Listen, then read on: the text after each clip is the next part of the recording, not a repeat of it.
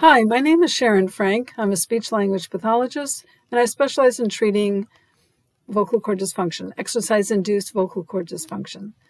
And I'm also the creator of the PIE approach, which is a holistic approach to treating this very complex disorder because it's definitely not a not a, a simple cut and dry sort of disorder.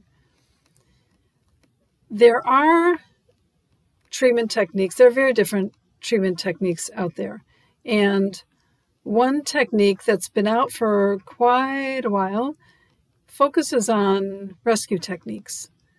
So, again, just to summarize, the problem with vocal cord dysfunction is patients will feel that they can't get enough air in, they, they feel like they're breathing through a straw, they just feel like they can't get enough air in. And so, and a lot of times it's because the vocal cords are closing when they should be opening, or the area just above the vocal cords are closing when they should be opening.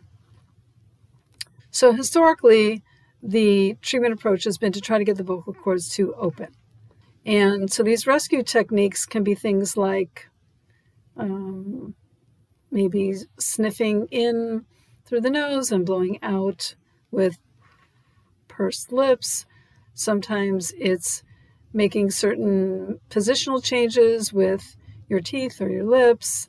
Uh, maybe it's doing relaxed throat exercises. Um, but there, there are other things that are considered rescue techniques, just trying to get the vocal cords to open.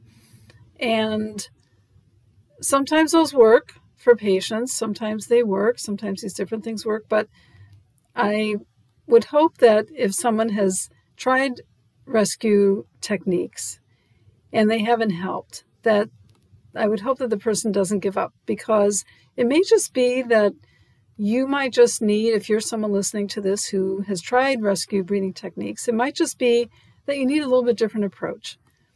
So, as I said, sometimes rescue techniques will work okay for someone, and sometimes they don't. And if they don't, you that person may benefit from a more holistic approach, something that might actually look at where's the person breathing from, um, how much tightness do they have in their musculature, in their chest or shoulders, or their lower respiratory diaphragm. And also, what might be helpful is for that person to see someone who can look at how um, what is how what what is their breathing like? In other words, are they breathing too often? Are they breathing um, too much volume of air? Are they maybe hyperventilating, which is a very common form of what we call dysfunctional breathing? And that's a bigger, that's like a, a umbrella term, dysfunctional breathing.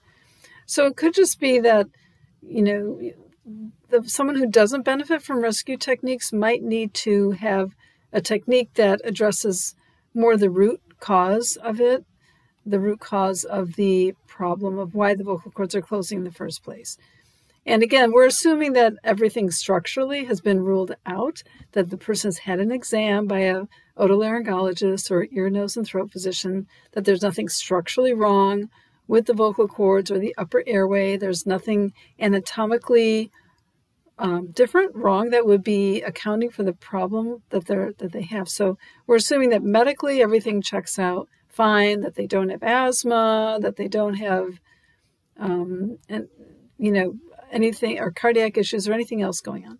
So if if everything else is fine, again, sometimes what the patient may need is not to necessarily learn techniques that will rescue them from when they have a problem to try to get out of the problem. But maybe what they need is an approach to help them from having a problem in the first place.